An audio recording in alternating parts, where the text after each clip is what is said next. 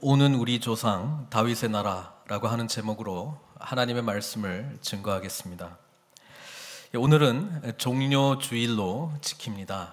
종료 주일은 우리 주님께서 이제 사역을 마무리하시고 마지막 그 고난의 십자가의 길을 가시기 전에 예루살렘을 어, 입성하실 때 승리의 입성이다. 우리는 그렇게 부르고 있습니다. 그때 오늘 찬양대가 찬양했던 것과 같이 호산나 우리를 구원하소서 예, 호산나 뜻이 우리를 구원하소서라고 하는 뜻이죠. 예, 그렇게 외치면서 예, 종려나무 가지를 흔들었습니다. 그래서 오늘 주님께서 평화의 왕으로 오심을 아, 모든 백성들이 함께 찬양하며 나아갔던 그 날입니다. 오늘을 기점으로 해서 이제 주님께서 마지막 십자가의 길을 가시는 그 한 주간이 시작이 됩니다. 어찌 보면 우리 기독교의 모든 신앙의 핵심이 바로 이 고난 주간 한 주간에 있다고 할 정도로 우리 기독교 신앙에서는 굉장히 중요한 어, 의미 있는 그런 기간입니다. 특별히 이번 어, 특별 어, 새벽기도 고난 주간을 통해서 우리 그리스도의 십자가에 더 함께 묵상하며 나아가시기를 바랍니다. 오늘 본문은 우리 주님께서 어, 사역의 마지막 부분, 특별히 마가복음, 마태복음, 누가복음은 예수님께서 이제 갈릴리 사역으로 중심을 어, 갈릴리를 중심으로 사역을 하시다가 이제 마지막 어, 예루살렘으로 돌아가셔서 고난 기간을 보내신 것을 굉장히 강조하고 있습니다. 마가복음이 총 16장으로 되어 있는데 1장부터 10장까지는 우리 주님께서의 갈릴리에서의 사역을 중심으로 말씀했다면 11장부터는 예루살렘 입성과 함께 마지막 한 주간 십자가에 못 박혀 돌아가시기까지의 그 시간들을 우리들에게 이야기로 남겨주고 있습니다. 여러분 우리 주님께서는 사역의 시작부터 한 가지에 관심이 있었습니다. 그는 뭐냐 하면 하나님 나라입니다. 천국 복음을 전파하셨습니다. 우리 하나님께서는 예수 그리스도를 통해서 바로 이 땅 가운데 하나님 나라의 비전을 처음부터 말씀해 주셨다라고 하는 것입니다. 어, 마가복음에 의하면 8장에 우리 마태복음 16장에 나와 있는 것과 같이 제자들을 모아놓고 물어봤습니다. 너희는 나를 누구라 하느냐? 그때 마태복음에 의하면 주는 그리스도시요 살아계신 하나님의 아들이십니다. 이 고백을 했잖아요. 근데 마가복음에도 똑같은 이제 본문이 기록되어 있는데 이때는 베드로가 아주 단순하게 대답합니다. 주는 그리스도이십니다. 주는 그리스도이십니다. 라고 이렇게 단순하게 고백합니다. 자, 이 8장에 고백한 이 예수님이 누구이신가에 대한 이 베드로 제자의 고백과 함께 예수님께서는 앞으로 자신이 고난을 당하고 죽임을 당하고 어, 그 다음에 부활할 것이다라고 하는 그 메시지를 세 번에 걸쳐서 말씀하십니다. 8장에 말씀하시고 9장에 말씀하고 10장에 말씀하십니다. 세 번에 걸쳐서 예수님께서 말씀하셨다라고 하는 뜻은 이것은 반드시 이루어질 일이다. 라고 하는 것을 말씀하시기를 원하셨고 또 하나님께서 바로 이것을 위해서 나를 보내셨다라고 하는 그런 확증의 이야기라고 하는 것입니다. 기독교 신앙은 그래서 신앙 고백, 우리가 예수님께 대해서 주는 그리스도이십니다. 예수님은 나의 구원자이시며 나의 주님이십니다. 이 고백과 함께 시작된다는 것을 우리는 알 수 있다는 것이죠. 사랑하는 성도 여러분, 고난 주간을 시작하면서 오늘 종료 주일 우리가 함께 예수님은 그리스도이십니다. 이 고백이 진정한 저와 여러분들의 고백이 되기를 바랍니다. 1절에 보시면 그들이 예루살렘에 가까이 와서 감람산 벳바게와 베다니에 이르렀을 때에 예수님께서 제자 둘을 보내시는 장면이 나오고 있습니다. 저는 이 본문을 묵상을 하면서 사실 부활절이 되고 부활절 한 주 전, 종료주일이 되면 늘이 어, 예루살렘의 이 승리의 입성과 함께 들어가는 이 말씀을 보면서 어, 뭐 예수님께서 정말 왕으로 임하는 뭐 그런 장면이기도 합니다만은 오늘은 특별히 어, 오는 우리 조상 다윗의 나라요. 이 제목은 어디서 나왔냐면 우리 백성들이 예수님께서 나귀 타고 입성하실 때 밑에 자신들의 겉옷을 깔고 우리 주님께서 들어오실 때에 뭐라고 외쳤습니까? 호산나 찬송하리로다 주의 이름으로 오시는 이여 그러니까 10절에 보니까 찬송하리로다 오는 우리 조상 다윗의 나라여 네, 가장 높은 곳에서 호산나 하더라 이렇게 기록되어 있지 않습니까? 여기서 이제 오늘 설교 본문의 제목을 정했는데요. 오는 우리 조상 다윗의 나라. 그러니까 오는 나라라고 하는 것이죠. 지금 이미 와, 온 나라가 아니고 이미 이룩한 나라가 아니고 이제 앞으로 올 나라라고 하는 겁니다. 그런데 우리 조상 다윗의 나라라고 이야기를 했습니다. 예, 그래서 오는 우리 조상 다윗의 나라는 하나님의 나라인데 하나님의 나라는 이미 도래해 오지 않았기 때문에 지금 여기에 있는 이 고백을 하는 백성들은 하나님 나라가 무엇인지 정확하게 알지 못하고 오는 우리 조상 다윗의 나라가 정확히 뭔지를 알지 못하고 고백을 하고 있는 것입니다. 이들이 생각하는 조상 오는 우리 조상 다윗의 나라의 고백 속에는 이미 왔던 이미 왔던 우리 조상 다윗의 나라가 지금 다시 일어나는 것을 소망한 것이지 오는 하나님 나라가 무엇인지에 대해서 예수님께서 여러 번 번번이 말씀하셨지만 깨달음 없이 고백하고 있다는 것입니다. 저는 이 고백 속에 오늘을 살아가는 저와 여러분들의 고민이 있을 거다 이렇게 생각합니다. 왜냐하면 우리가 확신을 가지고 고백하고 싶은 하나님 나라는 어찌 보면 이미 우리가 경험했던 아니면 보아왔던 그 나라를 혹시 우리 가운데 원하고 있는 것은 아닌지 스스로 물어봐야 된다는 것입니다. 지금 오는 우리 조상 다윗의 나라, 하나님 나라를 지금 고백하고 있는 이 백성들은 자신의 고백과 실제로 우리 주님께서 원하신 것과 심중에 고백하고 있는 그들의 마음과 전혀 일치하고 있지 않다는 것입니다.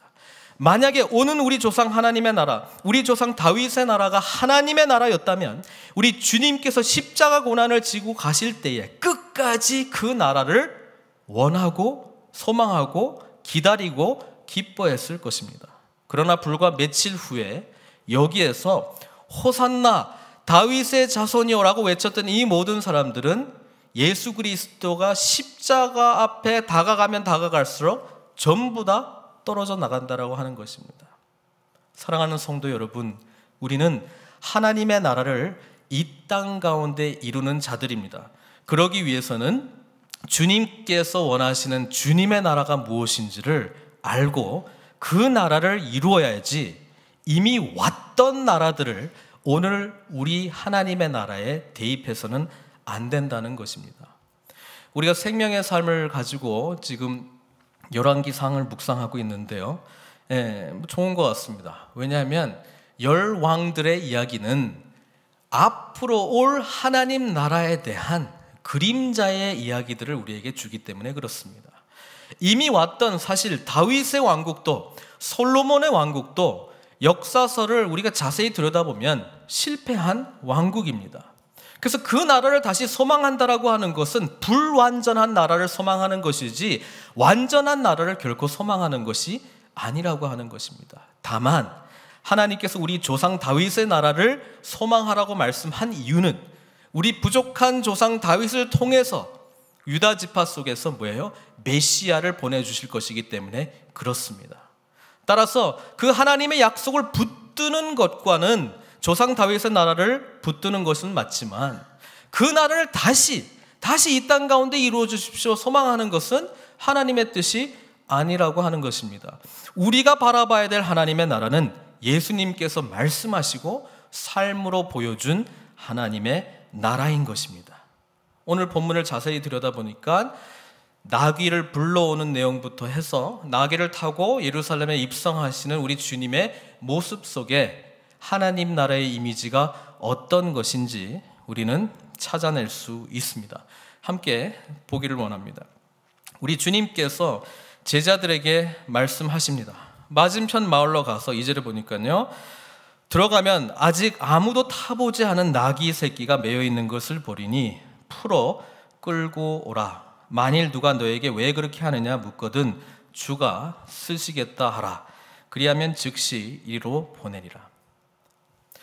여러분 6월절 때에 이스라엘의 많은 백성들은 6월절 제사를 드리기 위해서 예루살렘 그것도 성전 안에 모입니다. 그런데 나귀를 타고 입성하는 것은 그렇게 흔한 모습은 아닙니다. 우리 주님께서는 일부러 제자들을 보내시면서 나귀를 끌어오라 이렇게 말씀하고 있습니다. 나귀 타고 가시겠다는 거예요. 왜 그렇습니까? 이미 스가랴 선지자를 통해서 이 장면이 예언돼 있었기 때문에 그렇습니다. 스가랴 9장 9절에 보면 우리 주님께서 어떤 모습으로 오시게 될지 성경은 이야기해 주고 있습니다. 스가랴 9장 9절은 메시아 시대가 도래하게 될 때에 나타날 하나님 나라의 모습을 우리들에게 묘사해 주고 있습니다. 이렇게 기록되어 있습니다. 시온에 따라 크게 기뻐할지어다. 예루살렘에 따라 즐거이 부를지어다. 보라, 내 왕이 내게 임하시나니 그는 공의로우시며 구원을 베푸시며 겸손하여서 나귀를 타시나니 나귀의 작은, 작은 것, 곧 나귀 새끼니라. 이미 몇백 년 전에 메시아의 시대가 도래하게 되면 그 메시아는 나귀를 타고 등장할 것이다. 이렇게 이야기해 주고 있었다라고 하는 것입니다. 그리고 나귀를 타는 의미는 예, 겸손의 의미다. 그러니까 평화의 왕으로 오시는 왕이시기 때문에 예, 전쟁을 상징하는 백마를 타고 오시는 것이 아니라 겸손과 섬김을 상징하고 있는 나귀를 타고 오실 것이다. 예, 성경은 그렇게 예언하였고 예수님께서 몇백 년 전에 예언했던 스가랴 선지자를 통해서 예언했던 것이 자신을 통해서 완성되었다라고 하는 것을 보여주시기 위해서 나귀를 타고 입성하는 것입니다. 이것은 만천하의 모든 유대 민족들이 백성들이 기다려왔던 메시아의 시대가 도래했다라고 하는 우리 예수님 자신의 무언의 선포라고 하는 사실입니다. 우리 주님께서는 진정으로 예루살렘 입성과 함께 스가랴의 예언이 성취되었고 하나님의 나라가 시작되었다 이렇게 말씀해 주고 있는 것입니다. 사랑하는 성도 여러분, 오는 우리 조상 다윗의 나라, 하나님의 나라는 어떠한 나라입니까? 하나님께서 이미 약속하신 그 나라입니다. 말씀대로 이루어지는 나라입니다. 예언했던 대로 성취되는 나라입니다. 따라서 하나님의 나라는 반드시 온다라고 하는 것을 오늘 본문의 말씀은 전해주고 있습니다. 그렇다면 우리 믿음의 사람들이 반드시 쫓아가야 될 하나님의 나라는 반드시 오게 될 도래하게 될 하나님의 나라를 향해서 함께 나아가야 된다라고 하는 것입니다. 그 하나님의 나라는 어떠한 나라입니까? 그 하나님의 나라는 이 나귀에게 일어난 일들을 통해서 우리는 어떠한 나라인지를 알 수 있습니다. 스가랴 선지자는 몇백 년 전의 일이라면 이제 창세기까지 우리 하나님의 예언의 말씀으로 여러분들을 안내하려고 합니다. 창세기 39장에 보면은 야곱이 자신의 열두 아들을 축복하는 내용이 나옵니다. 축복과 함께 예언의 말씀이 있습니다. 그때 네 번째 아들이었던 유다, 나중에 이제 유다 지파가 되죠. 유다를 향한 귀한 예언의 말씀이 있는데 이렇습니다. 유다야, 너는 내 형제의 찬송이 될지라. 유다 뜻 자체가 찬송입니다. 내 손이 내 원수의 목을 잡을 것이요 내 아버지의 아들들이 내 앞에 절하리로다. 그러니까 나머지 지파 사람들, 형제 아버지의 아들들이 네게 절할 것이다. 그러니까 네가 주권자가 될 것이라는 말이죠. 유다는 사자 새끼로다. 내 아들아 너는 움킨 것을 찢고 올라갔도다. 그가 엎드리고 웅크림이 수사자 같고 암사자 같으니 누가 그를 범할 수 있으랴. 유다를 사자와 같은 그런 용맹스러움으로 어, 비유하고 있습니다. 규가 유다를 떠나지 아니하며 통치자의 지팡이가 그 발 사이에서 떠나지 아니하시기를 실로가 오시기까지 이르리니 그에게 모든 백성이 복종하리로다 이렇게 나와 있습니다. 유다 지파에게 야곱이 축복과 함께 예언의 말씀을 줄 때는 유다 지파를 통해서 통치가 임하게 될 것이고 유다 지파에서 임하는 앞으로 올 어떤 한 사람을 통해서 뭐예요? 모든 사람들이 그에게 복종할 것이다라고 하는 사실 메시아적 예언이 담겨져 있습니다. 그 다음에 11절이 너무 재미있어요. 뭐라고 되어 있냐면 그의 나귀를 포도나무에 매며 그의 암나귀 새끼를 아름다운 포도나무에 맬 것이며 또 그 옷을 포도주에 빨며 그의 목, 복장을 포도즙에 빨리로다 이렇게 되어 있습니다. 사랑하는 성도 여러분, 오는 우리 조상 다윗의 나라, 하나님의 나라는 이 세상 가운데 묶여 있던 나귀를 풀고 이제 참된 뭡니까? 포도나무에 그를 다시 묶는 것입니다. 세상의 죄 가운데, 세상의 영향력 가운데 묶여 있던 이 나귀를 풀고 이제 진정한 주인이신 예수님께로 인도하고 그 예수님께 묶는 것입니다. 창세기 39장 11절에 그의 나귀를 포도나무에 맨다라고 되어 있습니다. 요한복음 15장에 보면 우리 주님께서 자신이 참 포도나무다 말씀하고 있지 않습니까? 이제 세상에 죄 가운데 억압당하고 있었던 이 나귀는 풀려나서 진정한 주인인 예수님께 매이는 것입니다. 사랑하는 성도 여러분, 우리 하나님의 나라는 이 참된 포도나무 가운데 진정한 참 가지가 되어 영원히 그리스도와 함께 묶이는 것입니다. 그게 우리 주님께서 보여주신 나라라고 하는 것이죠. 이 나귀는 주인이 없었습니다. 자신이 주인이었습니다. 멍에 매지 않은 낙이었습니다. 그러나 이제는 그 위에 주님께서 앉게 될 것입니다. 그리고 이제 주님께서 가시는 그 길을 향해서 그 나귀는 인도함을 받게 된다는 것입니다. 오는 조상 다윗의 나라는 하나님의 나라는 하나님의 뜻대로 움직여 나가는 나라입니다. 그러기 위해서는 주님의 말씀 앞에 철저히 순종하는 제자의 모습이 이루어져야 된다는 것입니다. 우리가 오늘 이 본문을 통해서 장차 우리에게 오실 이미 우리에게 오신 호산나 다윗의 자손이 외치며 주님 나를 구원하소서 주님의 나라에 내가 나아가겠습니다라고 고백하는 저와 여러분들은 주님께서 우리 삶의 주인이 되셔서 주님께서 이끄시는 대로 나아가는 그 나귀가 돼야 된다는 것입니다. 그 나귀가 행하는 길이 어디입니까? 그 나귀는 오늘 본문 보니까 성전을 향해서 나아갑니다. 그냥 예루살렘의 화려함과 백성들이 움집해 있고 모여 있는 그 화려한 한복판으로 나아가는 것이 아니라 성전으로 나아가고 있다는 것이죠. 11절 말씀 보니까 예수께서 예루살렘에 이르러 어디 먼저 들어가시냐면 성전에 들어가사 모든 것을 둘러보시고 때가 이미 저물매 열두 제자를 데리시고 베다니에 나가시니라. 예수님은 성전에 들어가셨습니다. 우리 주님의 관심은 이 성전이 다시 회복되는 것입니다. 앞으로 오게 될 오는 하나님의 나라는 하나님의 진정한 성전인 우리들이 그분과 함께 회복되는 것을 말씀해 주고 있다는 것이죠. 이미 종교적인 의식은 넘쳐나고 종교적인 재물들이 매매되어 가고 있고 수많은 사람들이 들락날락하고 있는 이 성전에 예수님께서 둘러보시고 그것도 그냥 둘러보시는 것이 아니라 모든 것을 둘러보시고 우리 주님께서는 그냥 나오셨습니다. 왜? 성전의 목적은 참된 하나님 나라의 주인인 하나님께 예배하는 것이고 참된 하나님 나라의 주인인 하나님께 기도하는 것이고 참된 하나님 나라의 주인인 하나님의 공의가 실현되는 곳이어야 될 텐데 바로 그 한복판에 하나님 믿는 그 한복판에 가장 엄청나게 큰 외식과 또 종교적인 행위로 말미암아 자신들의 유익을 취하는 일을 범하는 사람들 그리고 공의가 아니라 정말 불쌍하고 긍휼이 필요한 자들에게는 외면을 하는 그런 모습이 성전 가운데 가득 찼다는 것입니다. 누가복음 본문에 보면 예수님께서 백성들의 환호와 함께 예루살렘 들어가시기 전에 예루살렘을 보시고 우셨습니다. 복음서는 예수님께서 성전에 들어가서 제일 먼저 하신 일들이 성전을 깨끗게 하시는 일이었습니다. 왜냐하면 이것은 오는 우리 조상 다윗의 나라, 하나님 나라를 이룰 그 장소가 아니었기 때문에 그렇습니다.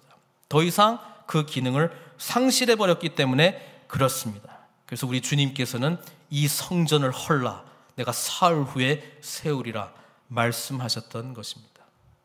사랑하는 성도 여러분, 이 고난 주간과 함께 부활의 영광과 기쁨이 우리에게 기독교인인 우리에게 가장 중요한 신앙의 핵심이라면 우리 속에 더럽혀진 또 무너져 가고 있는 이 성전을 완전히 무너뜨리시고 진정한 성전된 우리 주님과 함께 부활의 능력으로 다시 일어나야 될 줄로 믿습니다. 사랑하는 성도 여러분, 오는 우리 조상 하나님의 나라, 우리 조상 다윗의 나라, 하나님의 나라는 이렇게 죄 가운데 묶여 있던 우리들이 풀려나서 주님께서 우리의 삶의 주인이 되는 그 나라입니다. 근데 여기서 끝나지 않습니다. 우리 하나님께서 우리가 나귀의 모습으로만 존재하고 있기를 원하지 않습니다. 우리 주님께서는 오늘 제자들에게 말씀하셨고 제자들이 보여준 그 삶을 살기를 우리에게 말씀하고 있다는 것이죠. 제자들은 어떤 삶을 살았습니까? 우리 주님께서는 맞은편 마을로 가라 그러면 타보지 않은 나귀가 있을 것이다. 끌고 와라 풀고 끌고 와라 그리고 무슨 이야기를 한다 그러면 주가 쓰시겠다 하라라고 말씀하실 때 제자들은 그대로 행했습니다. 저는 이 내용을 읽으면서 출애굽기가 생각났습니다. 출애굽기에 보면은 출애굽기 20장부터 10계명이 주어지고 율법이 주어지고 성막을 이렇게 만들라라고 하나님의 계명이 있습니다. 그렇죠? 근데 그 계명이 이렇게 지루하리만큼 뭐 이렇게 하고 저렇게 하고 몇 규빗 이렇게 만들고 저렇게 하라라고 하는 명령이 나오고 난 다음에 이렇게 하라는 말씀이 나오고 난 다음에 똑같은 내용이 다시 반복이 됩니다. 똑같은 내용이 다시 반복이 됩니다. 그런데 이렇게 만들었다, 이렇게 만들었다, 이렇게 행했다. 명령과 그렇게 했다라고 하는 것이 두 번이나 표현되어 있던 것처럼 오는 우리 조상 다윗의 나라, 하나님의 나라는 하나님의 말씀이 선포될 때에 받은 바 그 말씀 앞에 온전히 순종하는 나라가 하나님의 나라입니다. 우리가 그 나라를 소중히 여긴다면 우리는 말씀하시는 그 나라 온전히 순종하며 나아가야 될 줄로 믿습니다. 제자들이 했던 역할이 뭡니까? 묶여 있던 나귀를 푸는 역할을 했습니다. 사랑하는 성도 여러분, 오는 우리 조상 다윗의 나라, 하나님의 나라를 소망하는 우리들은 이제 제자가 되어 뭐예요? 묶여 있는 사람들을 풀어야 될 줄로 믿습니다. 풀어서 그들에게 주가 쓰시겠다 말씀해 줘야 됩니다. 당신에게는 이렇게 세상에 죄 가운데 이런 타락한 문화의 영향력을 받고 묶여 있는 삶 살지 말고 우리 주님 믿고 자유케 되는 영광 가운데 들어오십시오. 진리가 여러분들 자유케 해줄 것입니다. 여러분들의 심령에 억압된 것들로부터 자유하게 해주실 것입니다. 그리고 이제는 주가 쓰시는 그런 쓰임받는 참된 하나님 나라의 백성으로 나아가기를 원합니다. 이 마음을 품고 우리가 묶여 있는 나귀를 푸는 제자들이 되어야 될 줄로 믿습니다. 이게 우리 오는 우리 조상 다윗의 나라, 하나님의 나라 모습이라고 하는 것이죠. 고난 주간을 맞이하며 우리는 그리스도의 십자가를 묵상하며 나아가도록 되어 있습니다. 이 그리스도의 십자가는 내 자신이 묶여 있는 것에만 초점이 맞춰져 있지 않습니다. 우리 주님께서 우리를 풀어주시고 우리에게 주님의 인도하심을 받고 나아가는 오늘 본문에 나와 있는 그 나귀처럼 우리를 불러주셨다면 이제는 제자로서 묶여 있는 자들에게 십자가 구원의 메시지를 전하며 다시 한번 하나님 나라 이 비전을 품고 나아가도록 우리를 부르고 계신다는 사실입니다. 고난 주간에 우리 자신의 연약함, 묶여 있는 부분들을 그리스도께 내어 드리십시다. 이제는 참된 포도나무에 묶인 그 나귀, 창세기의 예언의 말씀이 우리 늘 푸른 선교교회 가운데 이루어지기를 소망하십시다. 그리고 더 나아가 이미 참된 포도나무의 가지로서 하나님의 선한 열매를 맺기 위하여 이제 묶여 있는 나귀들을 찾아가 그들을 풀어주고 그들에게 소망을 주며 그들에게 참된 이 하나님 나라의 비전을 심어주는 그런 전도자의 역할로 우리가 나아가야 되지 않겠습니까? 그리스도의 십자가는 나만을 위한 십자가가 아니라 묶여 있는 이런 나귀와 같은 하나님을 알지 못하고 하나님의 이 자유함을 누리지 못하고 이 복음의 비밀을 깨닫지 못한 모두에게 주어진 것을 우리는 알고 이 사명에 동참해야 될 줄 믿습니다. 주님의 나라가 주님의 나라면 주님이 가서 주님 원하시는 낙이 주님이 끌고 주님이 그냥 타고 가면 되지 왜 제자들을 시키셨을까요? 제자들에게 하나님 나라의 위대한 영광, 이 비전 가운데 동참하기를 원하시는 것이 우리 하나님의 마음인 것입니다. 오는 우리 조상 다윗의 나라, 하나님의 나라는 혼자 가는 나라가 아닙니다. 함께 가는 나라입니다. 함께 하나님의 비전을 공유하고 함께 그 비전을 이루어갈 때 주님의 나라가 든든히 세워질 줄 믿습니다. 우리 주님께서 이곳에 계셔서 우리가 함께 호산나 다윗의 자손이요 가장 높은 곳에서 호산나, 호산나 이렇게 외칠 때에 우리 주님께서 이곳을 둘러보시고 떠나시는 것이 아니라 우리와 함께 거하며 하나님의 비전을 우리 가운데 심어주고 우리로 하여금 주님의 나라를 위해서 보내시는 그런 주님이 바로 이곳에 참된 주인이 되기를 소망합니다. 사랑하는 성도 여러분, 고난 주간이 시작되었습니다. 그리스도의 이 고난에 함께 기도함으로 말씀 붙들므로 나아가십시다. 우리 자신만의 십자가 지지 말고 그리스도께서 다른 사람을 위해서 베풀어 주신 이 놀라운 은혜를 깨닫고 다른 사람 묶여 있는 그 사람들을 풀어주는 그 십자가를 지고 함께 나아가십시다. 부활의 날이 오게 되면 부활의 영광의 날이 오게 되면 우리는 함께 부활의 그 능력과 함께 완성되어진 하나님 나라를 함께 경험하게 될 것입니다. 거기에 저와 여러분 함께 서 있기를 바랍니다. 오늘 이렇게 크게 외쳤던 이 사람들 그리스도의 십자가 주변에 아무도 없었습니다.